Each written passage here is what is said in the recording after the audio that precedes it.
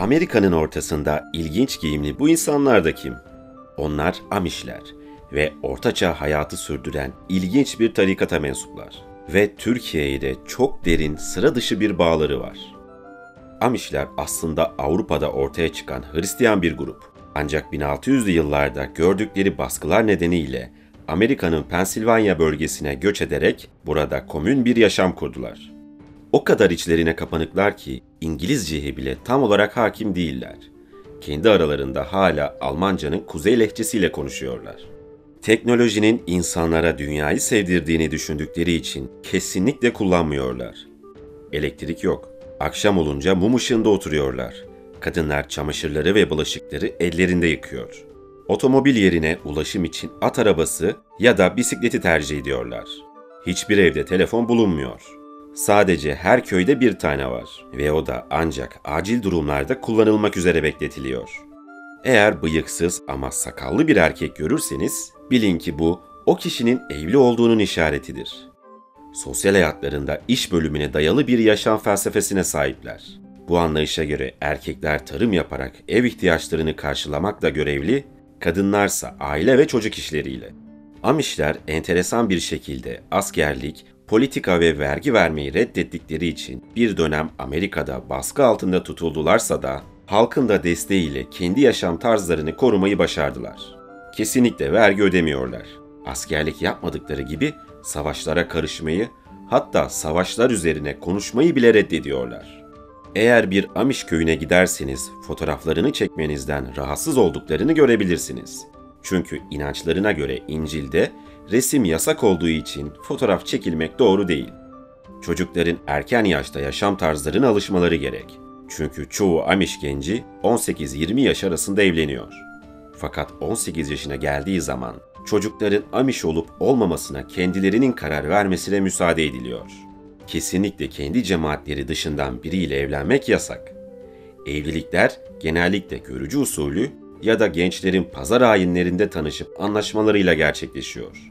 Bunun dışında kız ve erkeklerin bir araya gelmesi yasak.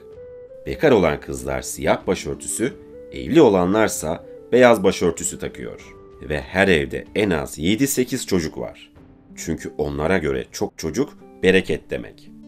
İsa peygamberin marangoz olmasından dolayı bu mesleği çok geliştirmişler. Dünyanın en iyi marangozlarından oldukları kabul ediliyor ve yaptıkları ürünlerde çivi ya da vida yok. Özelliği ise geçmeli şekilde tasarlanmış olması ve Amerika'da çok pahalı fiyatlara satılıyor. Amişlerin Türkiye ile de derinden gelen duygusal bir ilişkileri var. 1600'lü yıllarda Avrupa'da Katolikler tarafından öldürmeye başlandıklarında cemaatin önemli bir kısmı İstanbul, İzmir ve Kars'a yerleşmişler. Dönemin padişahları onları memnuniyetle kabul etmiş ve Osmanlı Devleti'nin istedikleri yerinde yaşam özgürlüğü sunmuş. Burada yerel halk tarafından çok sevilmelerine rağmen İstanbul Kadıköy Hasanpaşa civarında yaşayan Amişlerin öldürülmeye başlanması üzerine ülkemizden de gitmek zorunda kaldılar. Bugün Kars kaşar peyniri olarak bildiğimiz ve tadına doyamadığımız lezzet İsviçre'den gelip Kars'a yerleşen Amişlerin Anadolu'ya bıraktıkları izlerden biridir. İzmir'den Amerika ve Kanada sınırına yerleşen Amişler, burada İzmir'in antik ismi olan Simirna adında bir de şehir kurdular. O bölgeye gidecek olursanız, Türk olduğunuzu duyduklarında sizi daha içten karşılayacaklardır. Amişlerin çıkış noktası İncil'deki dağdaki vaiz bölümüdür ve kendi yaşamlarını orada yazanlara göre düzenlemeye çalışıyorlar. İncil'in etkilendikleri ve hayat felsefesi olarak belirledikleri bölümü ise şöyledir. İsa kalabalıkları görerek dağa çıktı. Oturduktan sonra öğrencileri yanına geldi. Onlara seslenip şöyle ders vermeye başladı. Ne mutlu ruhtan yoksun olanlara, göklerin egemenliği onlarındır. Ne mutlu yaslı olanlara, onlar teselli edileceklerdir. Ne mutlu yumuşak huylu olanlara, onlar yeryüzünü miras alacaklar. Ne mutlu doğruluğa acıkıp susayanlara, onlar doğrulacaklar.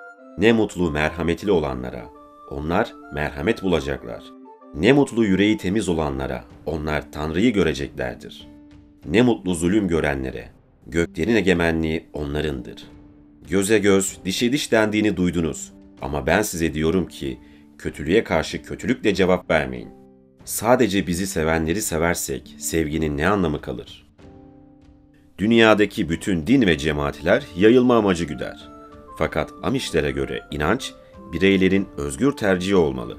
Bu nedenle insanları herhangi bir dine davet etmeyi yanlış bir davranış olarak kabul ediyorlar. Eğer bir yabancı Amiş olmak isterse genellikle kabul etmiyorlar. Çünkü ilkel bir hayatı yaşamak diğer insanlar için zor. Ama yine de kendi içlerini alıp uzun bir süre sınava tabi tutuyorlar. Eğer yaşlılar heyeti ikna olursa yeni kişi de Hamişlerin arasına katılabiliyor. Çok zor bir süreç. Kendi hallerinde yaşam süren mezhepteki herkes sade bir giyim tarzına sahip. Makyaj yapmanın ve gösterişli şeyler giyminin günah olduğuna inanan kadınların yaşamlarını eşlerine hizmet etmeye ve çocuk yetiştirmeye adadığı biliniyor. Aynı zamanda hiçbirinin sosyal sigortası da yok. Hasta olanlar kendi içlerindeki ilkel yöntemlerle tedavi ediliyor. Ancak çok önemli bir durum olursa hastaneye gidebiliyorlar. Ve hastane masrafları cemaatin kendi içinde topladığı ortak parayla ödeniyor. Onlarda ortak para çok önemli.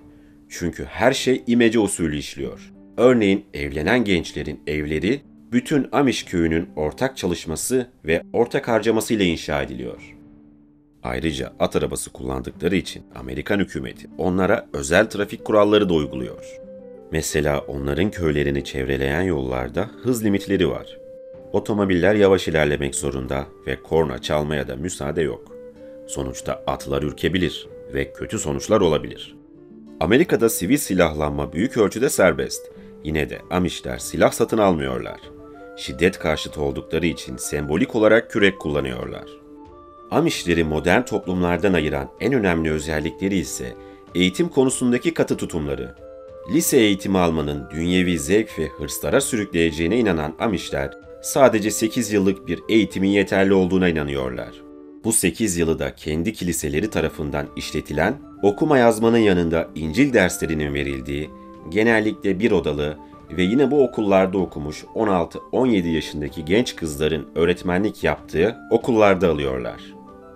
ABD kanunlarına aykırı olan bu durum 1972 yılında Amish çocuklarının 8 yıllık eğitimin ardından okulu bırakmamaları ve eğitimlerine devam etmeleri için bir dava açılmasına sebep olmuş. Halkın da desteğiyle mahkeme bu azınlığın lehine karar vermiş ve 8 yıldan fazla okumak istemeyenlerin eğitimini sonlandırmalarına izin verilmiş. Buna rağmen bazı modernist Amişler çocuklarının okumalarından yana oldukları için ait oldukları topluluktan herhangi bir baskı görmeden çocuklarını okula göndermeye devam etmişler. Aslında yaşadıkları köyler turist akınına uğruyor. Fakat bundan pek memnun değiller. Sürekli tarımla uğraşmaları gerektiği için bir de turistlere vakit ayırmak onları yoruyor. Ama özellikle dünyanın en ünlü reçel, peynir ve %100 doğal sebze meyve yetiştiricilerinden oldukları için insanlar onların ürünlerini alabilme amacıyla köylerine akın ediyorlar. Şu anda nüfusları 300 bin civarında ve yoğun üremelerinden dolayı 2026 yılında 500 bini geçecekleri düşünülüyor. İşin enteresan kısımlarından biri de Amişlerin 18 yaşına gelen çocuklarına Amiş olmak ya da olmamak arasında özgür bir seçim sunmasına rağmen gençler arasında seçimi cemaatten yana yapma oranı %95. Belli ki izole ve ilkel yaşantı cemaatin gençlerini de kesinlikle tatmin ediyor. Sonuçta kolay bir hayat değil.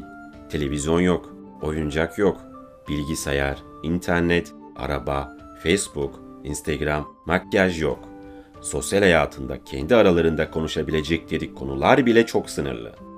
Oyuncakların hepsi el yapımı ve hiçbirinde yüz yok. Oyuncak bebeklerin suratları boş bırakılıyor. Giyeceğiniz kıyafetlerinizi bile elde dokumak zorundasınız.